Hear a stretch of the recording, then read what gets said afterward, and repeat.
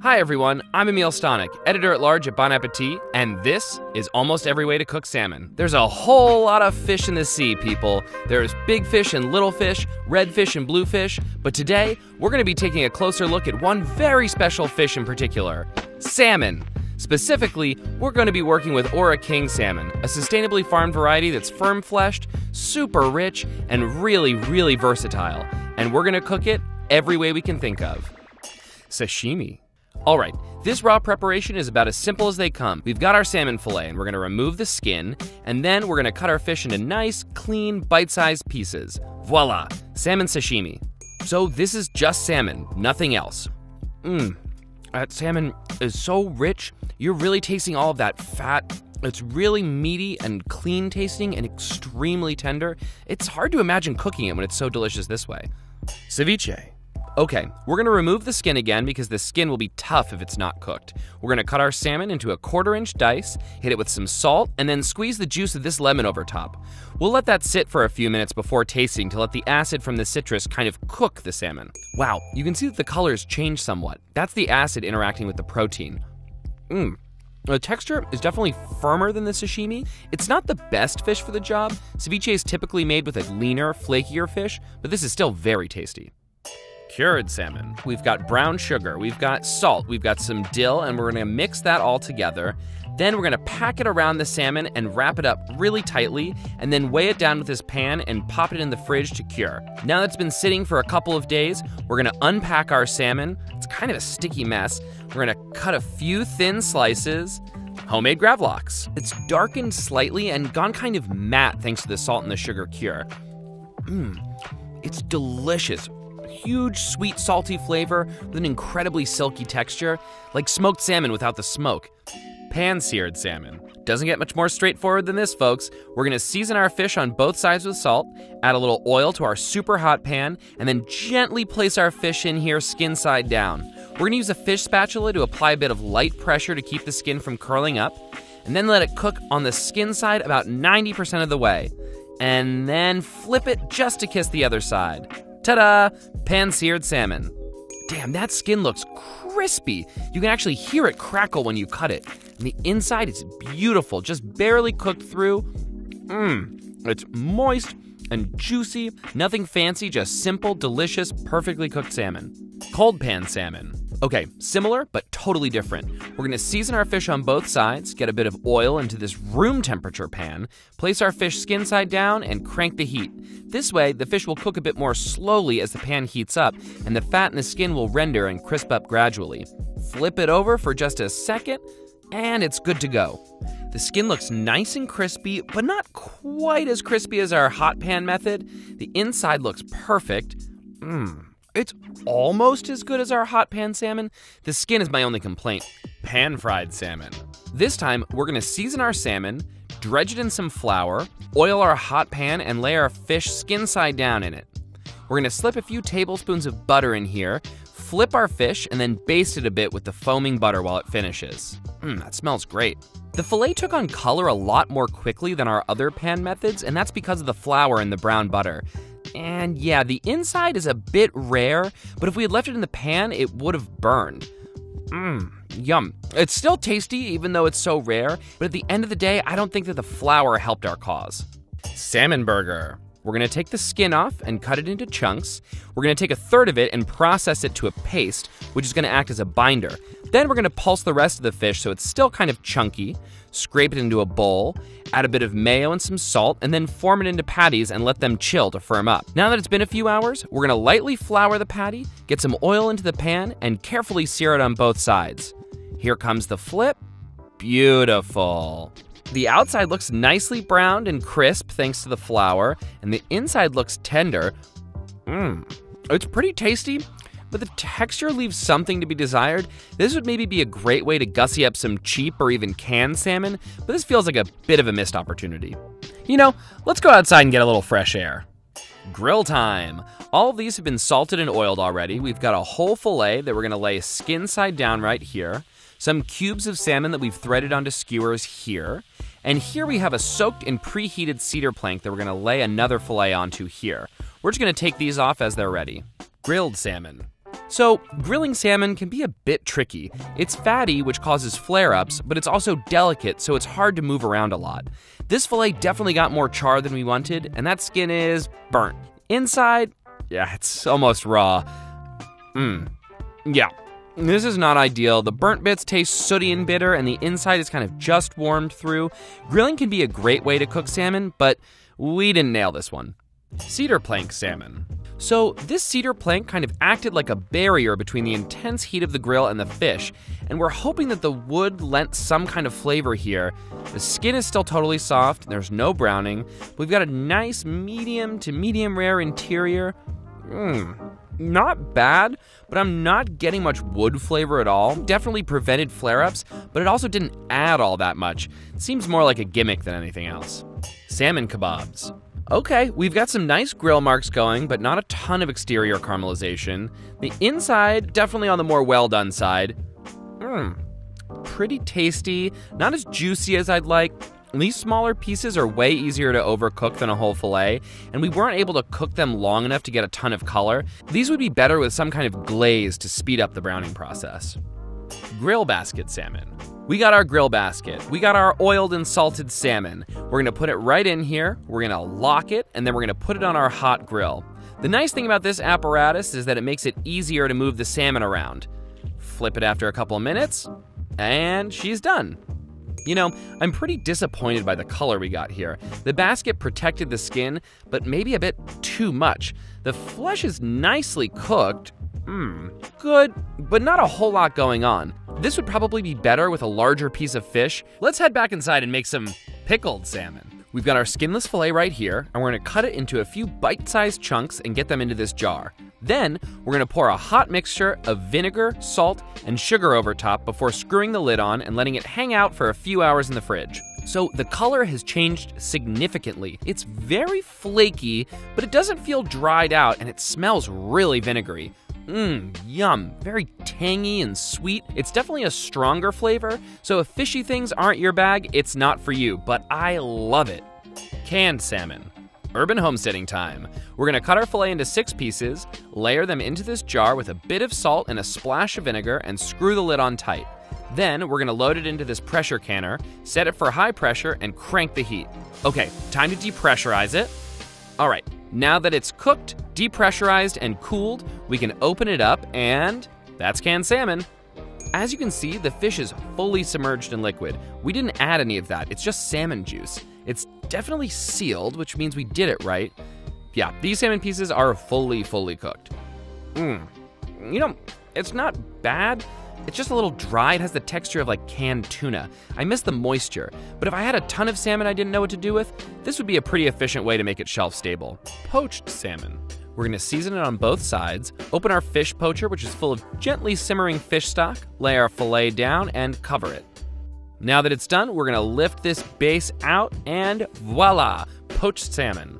It's worth noting that this apparatus is really meant for a whole fish. It makes it easier for the whole thing to be cooked gently and then lifted out fully intact. But our filet feels really nice, even without any browning to speak of. Ooh, it flakes really easily and it's super juicy looking. Mmm, yum. Coffee pot salmon. Say you're in a hotel room and you want to cook a piece of salmon, but you got nothing to cook it with. Wrong! You've got a coffee maker. We're gonna plop our filet into this carafe with a pinch of salt. We're gonna fill the basin with water and turn this bad boy on. Well, that's a coffee pot full of salmon and water, all right. Let's give this liquid a taste first. Hmm. Yeah, I don't think I'm gonna wanna make coffee in here ever again. The salmon is actually flaking nicely. Hmm. You know, it's not terrible. And even though it lost some flavor to the water, it's still pretty tasty. Salmon rillette. We're starting with poached and chilled salmon, and we're gonna flake it into this food processor. Add a bit of mayo, some lemon juice, a pinch of salt, and then we're gonna pulse it just enough to break the salmon up. Yeah, I know what you're thinking. It looks like cat food. Salmon rillette, everybody. So this would obviously be cuter if we put it in a little mason jar and garnished it with some chives or something. On its own, it looks pretty gnarly. Hmm. It's actually really delicious. The lemon adds some nice balance to all that richness, Salmon ice cream? Hold on to your butts, people. We're making salmon ice cream. First, we need to make our ice cream base. We're gonna add cream and milk and butter to this saucepan and bring that to a simmer over medium heat. While that's working, we've got some egg yolks, sugar, and a pinch of salt, and we're gonna whisk them together until they're light and fluffy. Now that our dairy is hot, we're gonna add a bit at a time to our eggs to temper them. Now, we're gonna dump it into this blender, add about a third of our poached salmon fillet, and set aside the rest for later. Buzz it up. Mmm, that's appetizing. We're gonna transfer this back to our saucepan, cook it until it's thick, and then transfer it back into this bowl, cover it with plastic wrap, and chill it until it's nice and cold. We're gonna pour it into this ice cream machine and let her rip. Now that it's almost finished, we're gonna add our flaked salmon for, uh, texture, I guess? And now that it's done, we're gonna scrape it into a loaf pan and let it freeze fully until it's nice and hard. So now our ice cream is completely frozen. Oh my god, the chunks. Ta da! Here we have the fishiest sundae that ever was. I mean, it looks good, like it could be something delicious like strawberry and not salmon. Some chunks in there. Mmm. You know, up front, it just tastes like really good ice cream with a distinctly fishy aftertaste. It's like eating ice cream while feeding your cat. Steamed salmon. We're gonna season our filet, open this bad boy up, and place our salmon on a little piece of parchment just to keep it from sticking. All right, it's been about four minutes, lid off, scoop out our beautiful piece of steamed salmon.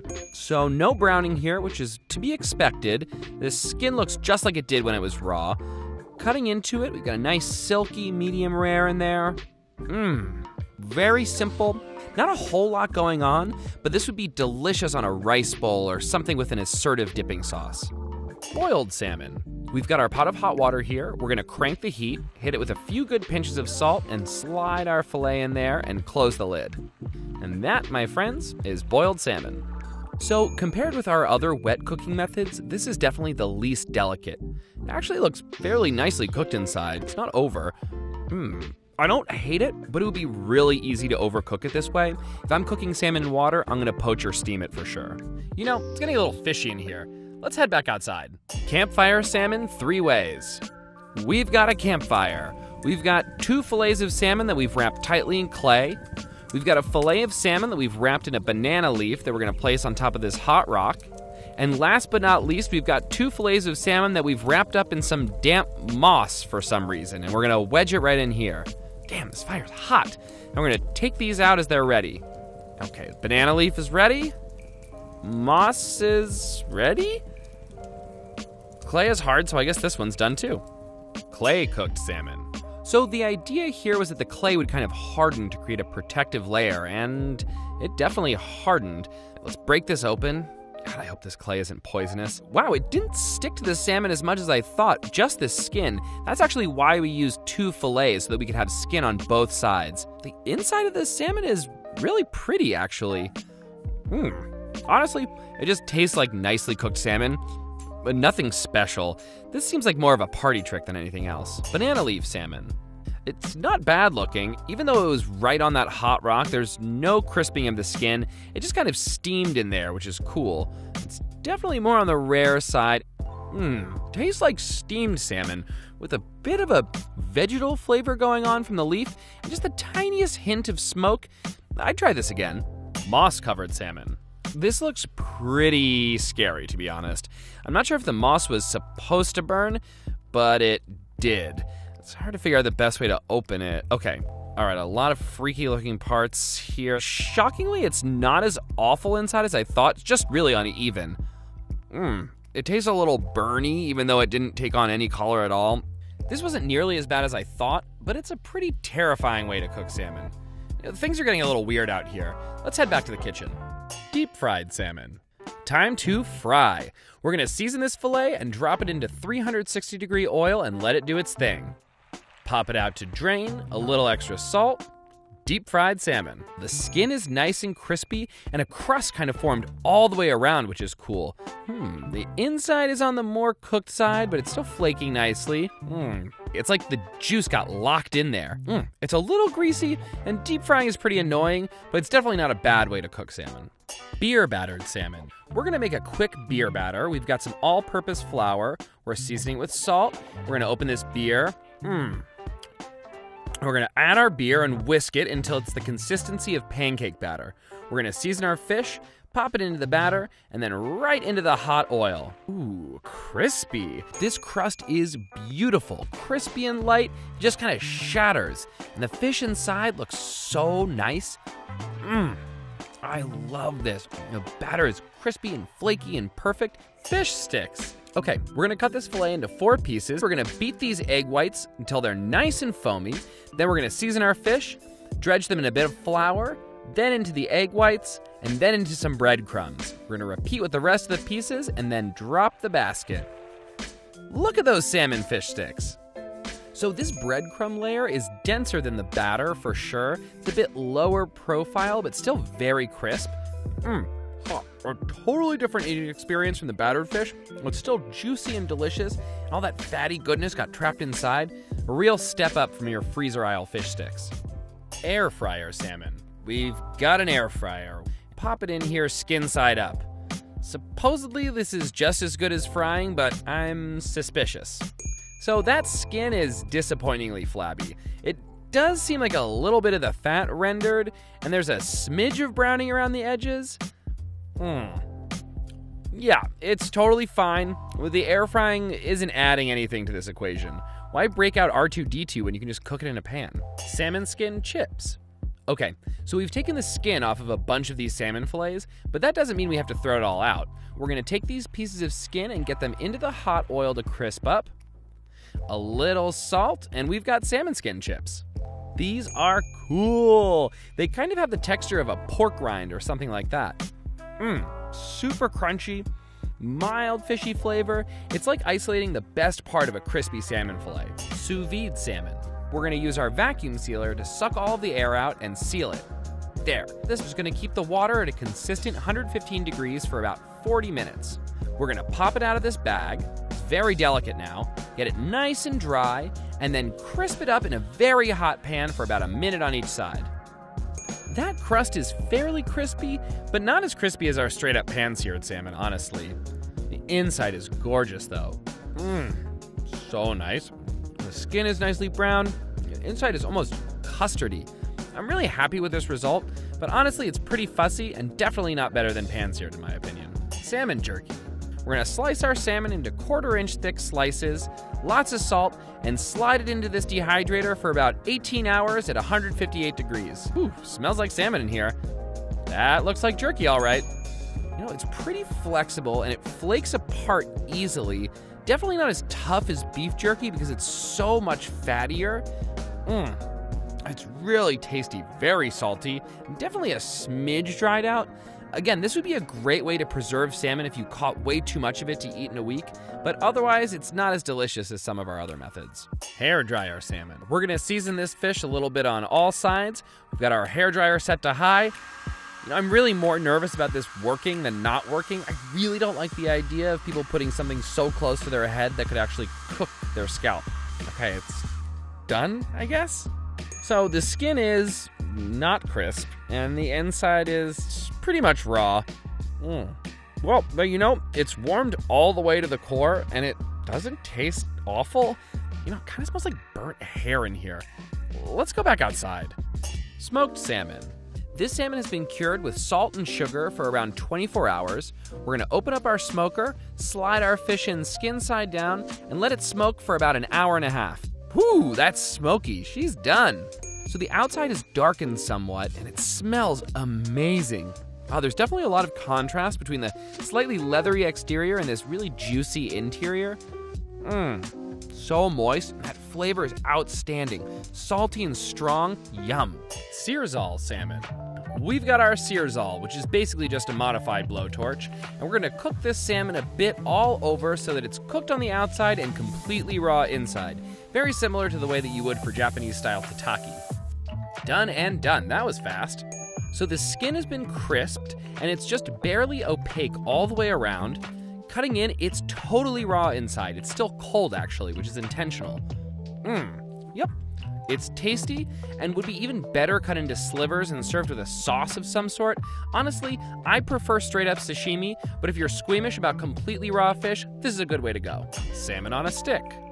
So our campfire here is nice and hot. We've got a piece of salmon that we've wedged into this split stick, and we're just gonna hold this here, turning it every once in a while so that the smoke and the heat can just gradually cook our fish. This is gonna take a while. Well, that looks done to me. Mm, definitely smells smoky. Yeah, it's pretty unevenly cooked because of the way that certain parts were insulated by the wood. Mm. Outside's a bit dried out, inside's pretty undercooked, but the flavor is really nice. Buried salmon? I dug a pit here earlier, and then I lined it with rocks and built a fire in here that's been burning for the last few hours.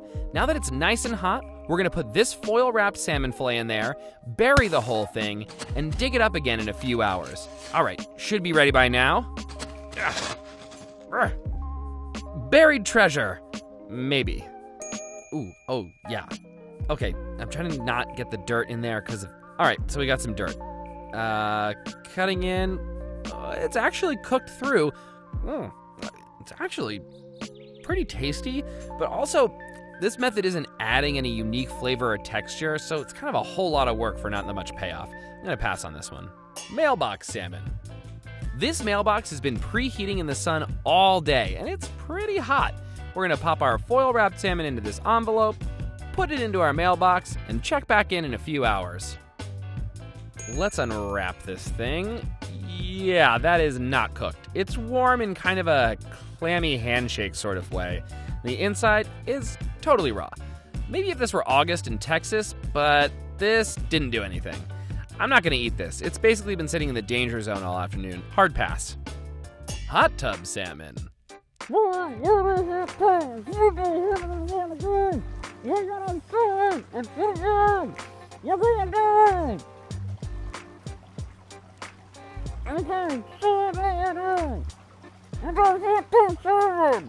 Yeah, this salmon doesn't feel that hot. Our janky hot tub was supposed to get up to 104 degrees, but I'm not sure it got there.